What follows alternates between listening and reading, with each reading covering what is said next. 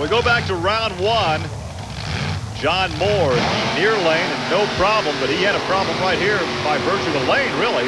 Well, earlier the drivers were saying how nice the facility was. Right now, if you got to run that right lane, it's about as much fun as kissing your sister. Nobody wants to do that. And there is a look at the snake bite, Colt Cobra. And he pulls alongside the Bigfoot Ford, Dan Runte. So it's Ford against Ford here in round two. Notice the yellow light on the right and the orange light on the left. That's a kill equipment we were talking about. Remember the fast loser. Will come back. Oh, look at that. Snake bite got him. Yeah. Hey, Snake bite that? got him. So the streak continues. Every win so far tonight, every win has come out of the same lane. And it looks like Ken Deppy will be our fast loser, entitling him to come back for more competition as once again we take a look at the Battle of the Boards. Oh, good jump. Good hole shot Yeah. right there by Snakebite. You got a good race. There's two well evenly matched trucks. The lane's the big difference. Right there is the margin of victory as we go down trackside to visit with our victor, Colt Cobra. I tell you what, Colt, I'm gonna make it short and sweet. You're putting these other guys in their place tonight. Yeah, Army, I'm trying. Like I said, we had a lot of problems earlier. I think we got them dialed in. Truck's working real good. Ford's making the horsepower. Firestone's putting it to the ground. I'm taking it to the line, and I'm putting them on the trailer. Snake is definitely back. Few trucks over, there's some work going on on Ken Deppy's Dodge Express, who is indeed the fast loser from round two. Army, what can you tell us about that situation? Gary, one of the interesting things about the pairings was the two Fords and the two Dodges going against each other in the semifinal. The big question was who would be the quick loser out of that round. Well, that question has been settled. The Dodge Express of Ken Deppy, he's going into the next round. But as you can see over my shoulder, he and the crew are thrashing. They're trying to figure something out. They got a problem in the left front suspension of the truck. We're going to let them go about their work. We'll keep an eye on things and throw it back up to you, Gary. The semifinals are coming up with two Fords and two Dodges. Stay with us. More coming your way on Trucks and Tractor Power. The Ozark Empire Fairgrounds are in Springfield, Missouri for the Penda Monster Truck Thunder Drags. This event is put on by the same group that brings you the four-wheel and off-road jamborees. And Army, as you know, those jamborees feature a host of great participant and spectator activities, as well as the great racing you see right here on Trucks and Tractor Power. And speaking of great racing, it's time for the semifinals with two Fords and two Dodges. First, it's Bearfoot, the Dodge, against Snakebite, the Ford. Well, this is what the people buy the tickets to see. These guys are starting to develop followings. People are starting to pull for them, whether you like one or the other, your manufacturer, personalities, or what have you. But when it comes down to this point in time, it's just a four-way shootout, Gary. But we have seen throughout the weeks the, the coming of the Dodge, the coming of Fred mm-hmm. Schaefer and his operation, more competitive every week. And now Ken Deppy and the Dodge Express as well. Chrysler Corporation is coming out and going after Ford. They realize that this monster truck, identity here, basically in a nutshell, you win with the monster truck, you're going to sell the new Dodge Dakotas. That's exactly that's what the And that has the been the game is. philosophy of motorsports for the last uh, about 10 decades or so. Since the car first came out, they started racing like at Indianapolis in 1911. There's a shot from inside the cab of Fred Schaefer. Oh, Schaefer does the wheelie, and that cost him the win. Boy, the kid out of Colorado takes the big Ford into the next round, Gary. Colt Cobra took advantage of that big wheelie that Fred pulled in no man's land. Well, that sets up half the final. It's going to be a Ford. Who's going to go in the other lane?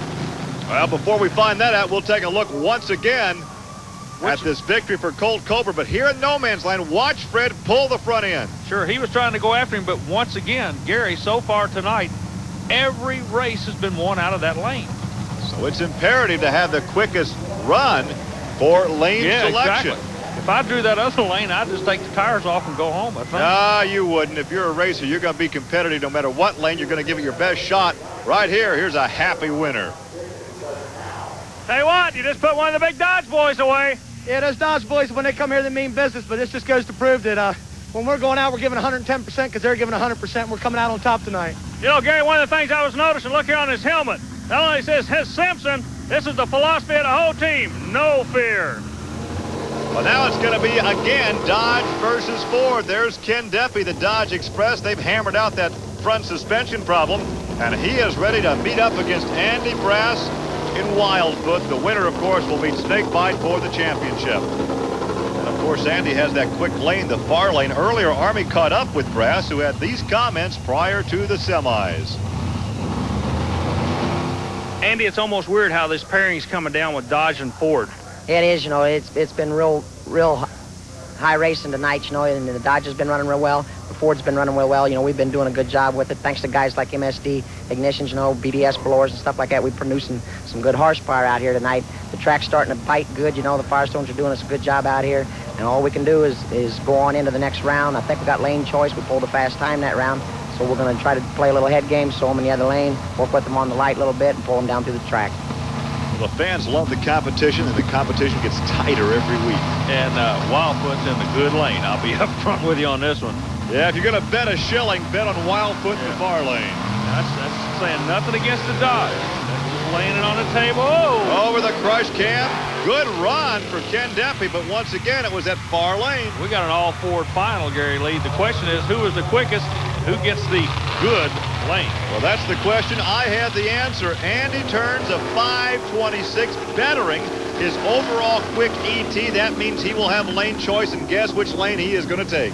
Army? This Ken Deppy can rock and roll with the best of them, can he, Andy? Yeah, he can. You know, we've been watching Ken there earlier. He's been turning in some good times with the truck. You know, that's one of Fred's old trucks. The truck proved itself last year, you know, so all he had to do was get him a good driver. I think Ken is doing a good job at driving. We've been watching the track, watching these times. We knew we had to go out there and run hard. We pulled it through with the Ford.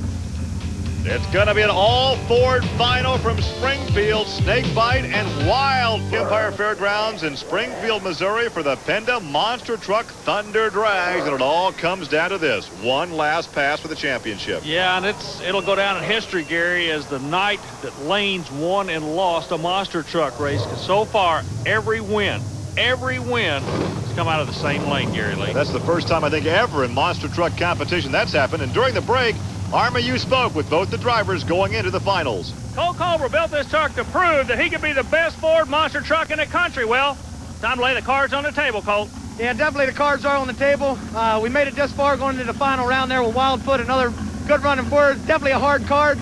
Like I said earlier, 110% is what it's going to take to win here today, and this truck right here is definitely 110% snake all the way.